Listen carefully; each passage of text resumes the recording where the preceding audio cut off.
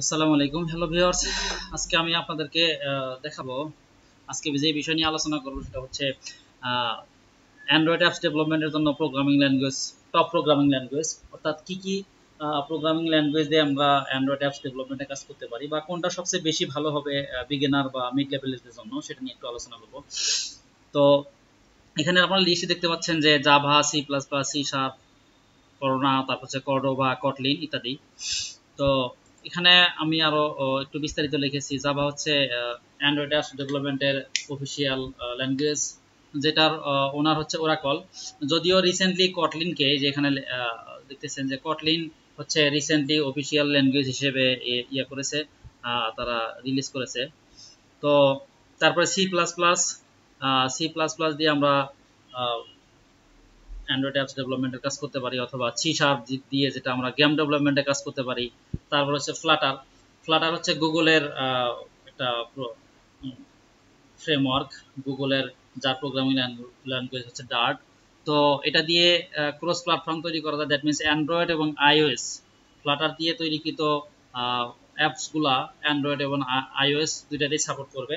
এরপর হচ্ছে জেরামিন এটা হচ্ছে, এটাও ক্রস প্ল্যাটফর্ম এটা মাইক্রোসফট কর্পোরেশনের প্রোগ্রামিং ল্যাঙ্গুয়েজ তো এটা দিয়েও অ্যাপস তৈরি করা যায়, এটাও ক্রস প্ল্যাটফর্ম বাট কম্পারেটিভলি আসলে কোনটা সুবিধা হবে এবং কোনটা দিয়ে অ্যাপ ডেভেলপ করা আমাদের জন্য ফাস্ট হবে সেটা নিয়ে একটু আজকে কথা বলতে চাচ্ছিলাম তো জাভার কথা যদি বলি জাভা হচ্ছে মূলত অনেক ফাস্ট একটা প্রোগ্রামিং ল্যাঙ্গুয়েজ এবং এটা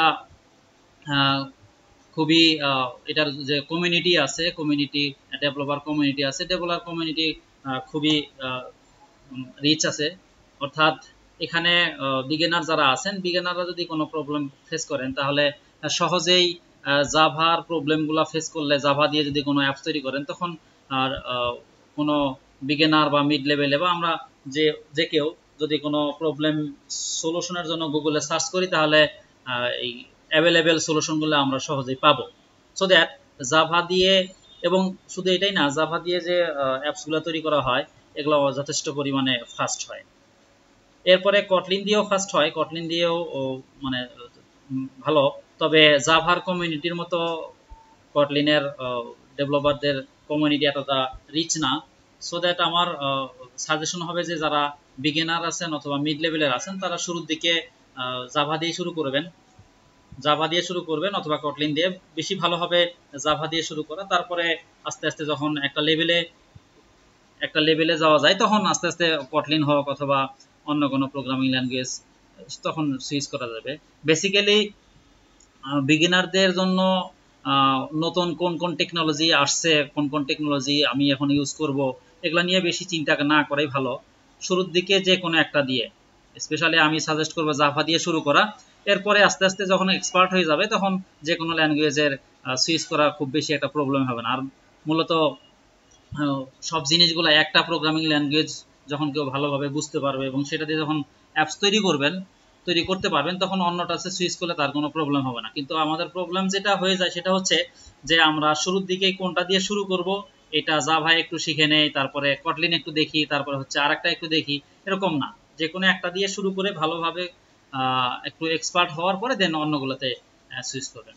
তো আজকে এই পর্যন্তই। এর পরবর্তীতে আমি একটা ভিডিও করব, ছোট্ট একটা টিউটোরিয়াল করব। সেটা হচ্ছে যে, আসলে আমাদের জাভাটা অ্যান্ড্রয়েড অ্যাপসটা কি দিয়ে কার উপরে রান হয়, যে ভিএম এর উপরে না, তারপর হচ্ছে আপনার ডিভিএম এর উপরে, এটা নিয়ে আমি ছোট্ট একটা টিউটোরিয়াল তৈরি করব। তারপরে আস্তে আস্তে আমরা প্র্যাকটিক্যাল কাজের দিকে যাব।